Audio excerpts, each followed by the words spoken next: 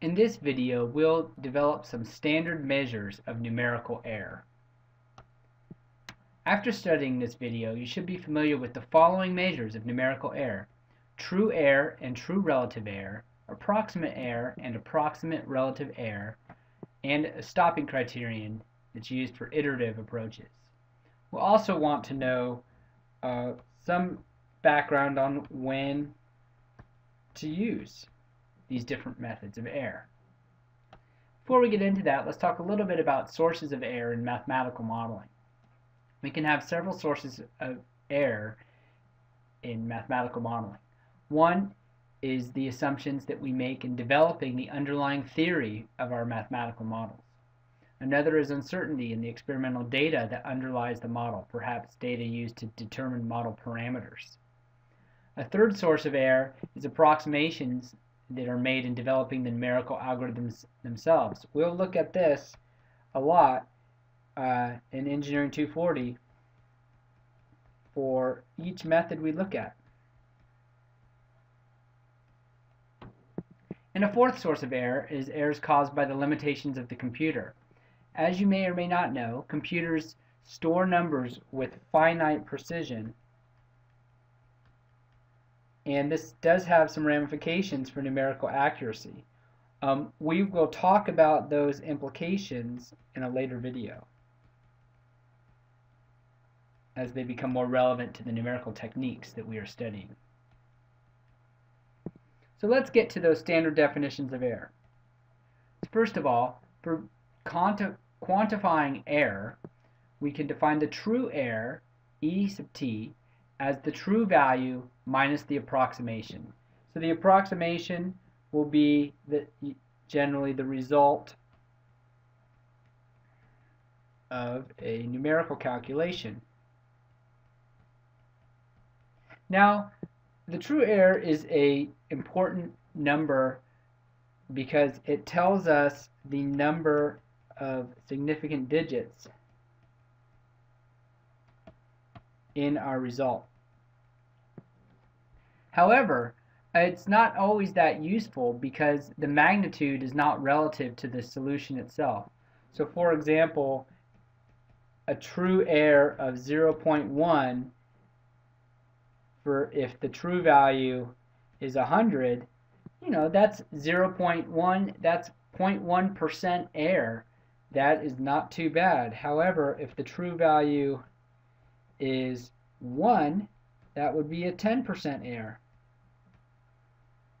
So we'd like to have some measure that gives us a meaning of the relative magnitude of that true error, and we get that from the true relative error, where we simply take the true error, ET, that's what's in the numerator here, and divide that by the true value. Now, one thing you might be wondering is, well, wait a minute, if this is a numerical methods class and we're using numerical methods to calculate approximations where we can't solve something exactly, then um, we may not know the true value. And that's generally the case. We generally do not know the true value. So we can use another measure of error called approximate error. An approximate error is defined as the present approximation and this is again our numerical result. Minus the previous approximation. And this is a numerical result. It's an application of the same algorithm with less precision. And we'll talk more about what that specifically means in the context of each numerical method where approximate error is a relative method. Now again, because approximate error doesn't give us a true sense of the magnitude of an error, it's much more common that we'll use approximate relative error, denoted by epsilon a, and that is given by the present approximation minus the previous approximation, all divided by the present present approximation. So again, this is all based off the assumption, the key assumption here is that the present approximation is better than the previous. So we're basing this measure of error on the assumption that when we apply the same numerical algorithm with more precision, that that gives us a better approximation. And this brings us to one of our main uses of approximate relative error, and that's in iterative techniques. For iterative numerical techniques, uh, what we do is we repeat a calculation over and over with increasing precision until we reach a desired accuracy. That desired accuracy target is called a stopping criterion or stopping tolerance. We usually would denote that by epsilon s. So we can say an iterative method converges when we've repeated that calculation to the point that the approximate relative error the absolute value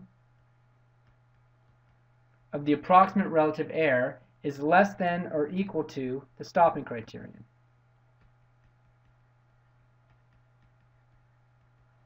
In other words, what we are doing is repeatedly calculating the approximation with increasing precision and recognizing that at a certain point the solution, even though as we increase the precision, the solution is not changing all that much, at least not within the tolerance that we've set in our stopping criterion. And we'll see more concrete examples of how these different error measures apply throughout the course. But this video we have them all in one place so we can refer back to these throughout the quarter.